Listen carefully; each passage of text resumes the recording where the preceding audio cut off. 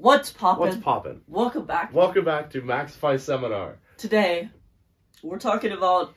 You could call it a movie, and you could call it an episode. Or you could call it a series of choices. Black Mirror, Bandersnatch. So, if you don't know, Black Mirror is a series on Netflix that's about technology going too far. It's about living in a society. A society controlled by technology. A society close to the society we live in.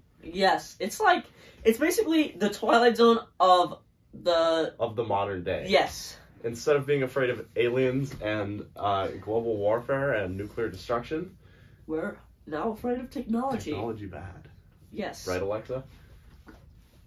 So basically, Bandersnatch is an extended episode where you're able to make choices. So on the surface, Bandersnatch is about this young game developer who is struggling to adapt this novel about making choices into a video game. But things start to go awry when he realizes that his choices in real life are seemingly out of his control, which they are because we're making them. And not only this, making a choice and then going back and then making a different choice or going back and making the same choice counts as its own choice. Yeah, it's like if you go back and do the same choice twice, it's different than doing it once. It's crazy. So trying to like figure out this movie is like trying to figure out a time travel movie, but even worse Because you it's have time choose. travel and there's choices. Yeah. And so the little thing on Netflix says that this is an hour and thirty minutes, and um, that's just a straight up lie. We, we spent like four and a half hours on it. This was a four and a half hour project getting to uh, what we think is the best ending. I think we got every choice uh, except for one, Yeah. Uh, and wow. Okay, basically, this. I normally, don't when even know you- where to start. Okay, I'm just gonna start. Okay. Normally, when you get to choose your own movie, it's like janky. It's like uh, Bear Grylls is like, "Do you want to eat this or not?" And you're like, "No." He's like, "I'm gonna eat it anyways." Yeah, so And we, we tried the same the same gimmick was used after this in different things on Netflix, and we first like a couple years ago we tried the Bear Grylls one, and like you said, You It's- don't it's have a choice. gimmick. It's just one straight line. It And just splits off. really and then- Bandersnatch is very similar on a lot of its choices, but it uses that concept like reflexively to build its mystery. Like part of the whole story of Bandersnatch is that the choices are like- actual like aren't actually real. like the character is aware, almost of the people. And that's one of Like- the biggest things about this movie. It's so meta and it's so ingrained in itself and it's so self reflexive that there's no way they could do it again. This story is so calibrated to be perfectly matched to this gimmick. It works so well because the story is about this like fallacy of making choices and then making choices is, Is- part of the story. Yeah. So And it changes depending on the choices you make, but regardless, And I should point out, it's seamless. No matter what choice you make, you're not like, that's janky. It's not like there's continuity errors. It's like perfectly. I could imagine this movie probably took like years to make. It's Um, like five hours of footage total or something, but it's crazy because going through it multiple times, which is how it's designed to do, once you like reach a dead end, it resets you to the last choice you made. That was wrong. Going through it multiple times, it's like there are subtle differences and it's it's such an engaging experience to sit there and like Like stuff you might not even notice is different, and it's just that attention to detail that they have is. It's like it's weird because the more times you reset, your character still knows some things. Yes, and that's So- that's the craziest thing because you know things because you've seen it, but the the Bandersnatch knows that, and so it uses that to its advantage, and it knows you know, so it knows too, and so when you go through it again, things will be one letter different. yeah, seriously, instead was, of CS, it's X in one version. Yeah. Um, and we didn't even see it, so we had to restart. I should add, there's a pretty, some pretty funny moments in this. Like, uh, there's one choice you can make where he realizes that he's on set. Yes, I love that choice. uh, we need to talk about one character in particular Well, first let's address all the characters. Um, this movie is aggressively British with the accents, um, but there's one character that stands out, and if you've seen it, you already know who I'm, who I'm talking about right now. the character's name is Colin. He's played by Will Poulter, who you might know as the kid with the eyebrows. Yeah, Um, so basically, this is his most funny performance. Like, there's parts where it's just fully just fast forwarding through the movie. Okay, so he's okay. So it's your main character's aware of the choices you make, and so is Colin.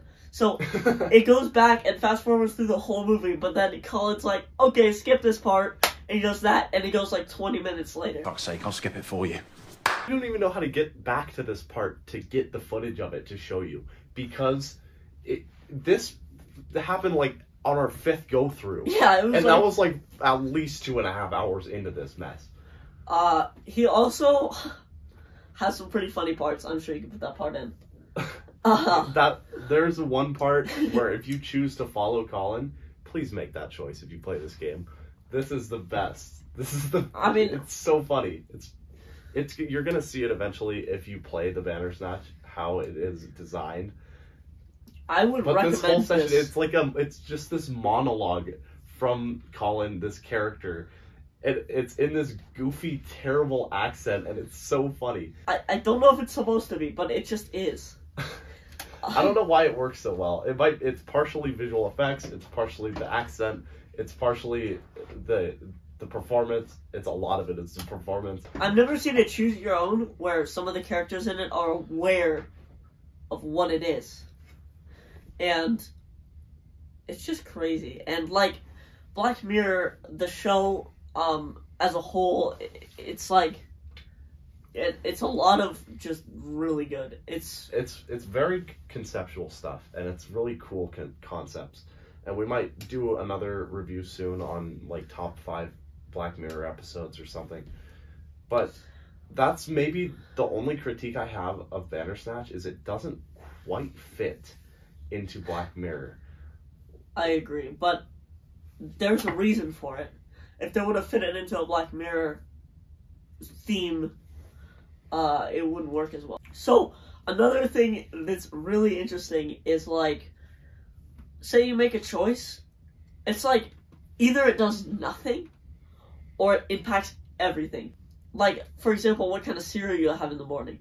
Like maybe It doesn't matter? Maybe it doesn't matter, or maybe, maybe- that's the only way to get the good ending is Yeah. to start with Frosted Flakes. So, if you have time, and you're definitely going to need more than 90 minutes I for mean, this. I mean, the truth is, you can turn this off whenever you want and come back to it, uh, because it's Netflix. So you don't have to sit down for five hours. It would almost be like watching a series. You could just go in, like every once in a while, play for forty-five minutes, and that's it.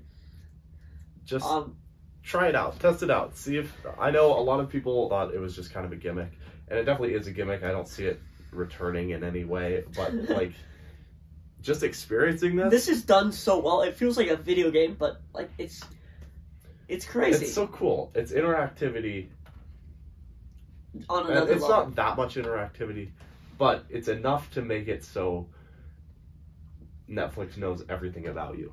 So It's so when you think of choose your own, it's normally like the character says something and he's like, "What do you think?" and then you choose. But in this one, it's like you're controlling this guy. Like he he he's not even like conscious of you. You're just making decisions for him. but he is- becomes conscious. Of He does. Um, and that's why it's so great. Is because it's so meta. So if you have five hours to spare, definitely go check it out. Um, it might take you less time if you really luck out. I mean, but- we were like, we were like, so the only reason it took us so long is because we did it. We got to the ending and we're like, I'm not Huh. satisfied. Yeah, what what if we would have done toasted O's instead? So that's how so it we happened. restarted, and we did it a lot of times in a row. Uh, but I encourage you. That I think that's the best way to experience this. So go check it out. It's on Netflix. Um, Uh, yeah. Uh, that's I'm I'm basically I'm giving it two stars out of two. And I'm giving it two stars out of two as well, making it full marks, four out of four stars. So this has been a, a bit of an informal review again. I mean, um, I guess this is just the, the new standard for Maxify Seminar, but I've been Max. I've been Blake. This has been Maxify Seminar. And we'll see you in the next one.